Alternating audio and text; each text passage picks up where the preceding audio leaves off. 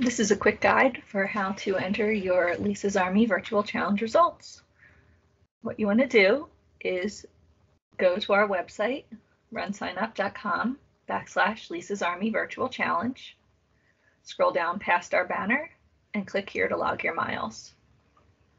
When you get to this site, you want to hit the little plus sign, enter your first and last name in the Add Virtual Results box, click Add Virtual Results.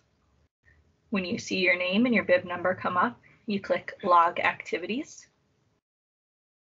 Down here, you can select the activity that you did today. Make sure you have today's date and enter the distance that you ran or walked or biked in miles.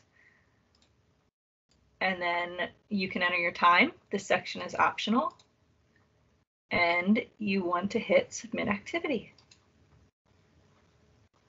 You'll receive this page that says your activity has been um, saved. If you want to add another activity, if you're doing a couple activities for the week, you just want to click this button so you don't override your last activity. And that's all.